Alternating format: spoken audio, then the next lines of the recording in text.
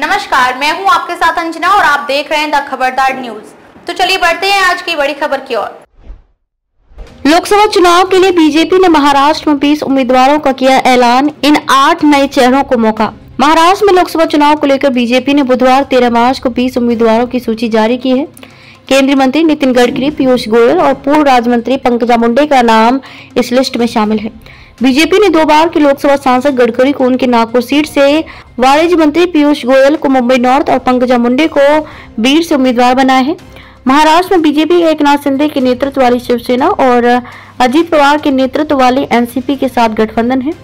BJP की सूची में पंकजा मुंडे, बीड़ का नाम आठ नए चेहरों में शामिल है। पंकजा ने परिवार के गढ़ बीड़ में अपनी छोटी बहन और मौजूदा सांसद प्रीतम मुंडे की जगह ली। बीजेपी की पहली सूची में गडकरी का नाम नहीं था, जिसके बाद शिवसेना, यूवीटी प्रमुख उद्धव ठाकरे ने उन्हें विपक्ष के उम्मीदवार के रूप में चुनाव लड़ने का खुला प्रस्ताव दिया था।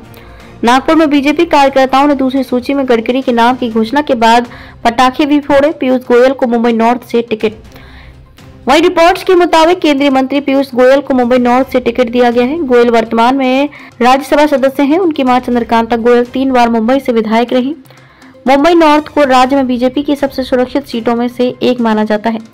दूसरी सूची में एक और नया चेहरा राज्य के वन मंत्री सुधीर मुनगंटीवार चंद्रपुर है। इसके अलावा महाराष्ट्र के सभी केंद्रीय मंत्रियों को फिर से टिकट दिया गया है। पार्टी ने जलगांव से लोकसभा सदस्य उन्मेश पाटिल की जगह स्थानीय नेता स्मिता वाघ को मैदान में उतारा है। महाराष्ट्र में कहाँ से किसी मिला टिकट? बीजेपी की सूची में अनूप धोत्रे ने अपने पिता और मौजूदा अकोला सांसद संजय धोत्रे की जगह ली है। पुणे से पार्टी ने पूर्व मेयर मुरलीधर मोहोल को मैदान में उतारा है। ये सीट मौजूदा बीजेपी सांसद गिरीश बापट के निधन के बाद से खाली है। विधायक मिहिर कोटेचा को वर्तमान सांसद मनोज कोटक की जगह मुंबई उत्तर पूर्व से मैदान में उतारा गया है। गौरतलब है कि पार्टी ने अब तक मुंबई की छह लोकसभा सीटों में से केवल दो के लिए उम्मीदवारों की घोषणा की है। पिछले चुनाव में बीजेपी ने यहाँ अपने सहयोगी शिवसेना के लिए तीन सीटें छोड़ दी थी। उस समय शिवसेना में विभाजन नहीं हुआ था। बीजेपी ने मुंबई उत्तर मध्य के लिए उम्मीदवार की घोषणा नहीं की, जो 2014 और 2019 में दिवंगत प्रमोद महाजन की बेटी पूनम महाजन ने जीती थी। पूर्वी महाराष्ट्र के वर्धा में बीजेपी ने दो बार के सांसद रामदास तड़स को फिर से प्रत्याशी बनाया है।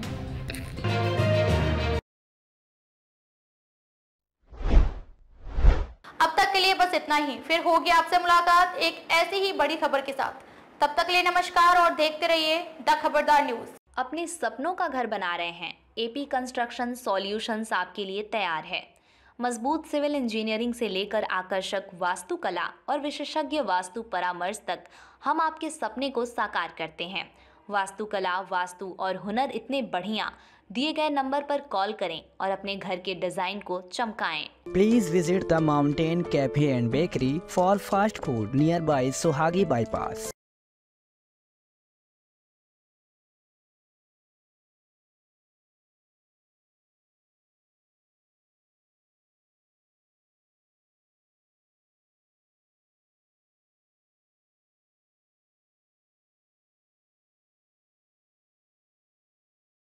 shifting की टेंशन अब नो टेंशन शिफ्ट को पैकर्स एंड मूवर्स है ना, जो आपके घर के पूरे सामान के साथ, आपकी बाइक व कार को सुरक्षित एवं ज़िम्मेदारी के साथ आपके घर तक पहुंचाता है।